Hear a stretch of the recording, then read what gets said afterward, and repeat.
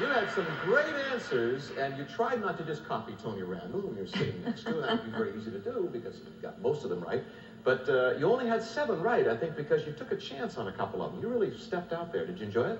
I enjoyed it very much, and in fact, it, it uh, pointed up to me why so many people are are uh, at odds and argue about legal points because perhaps they don't know the Constitution that well. What we think we know is not always the le- the, the, the word. In, Sure. the, in the yeah, it was great.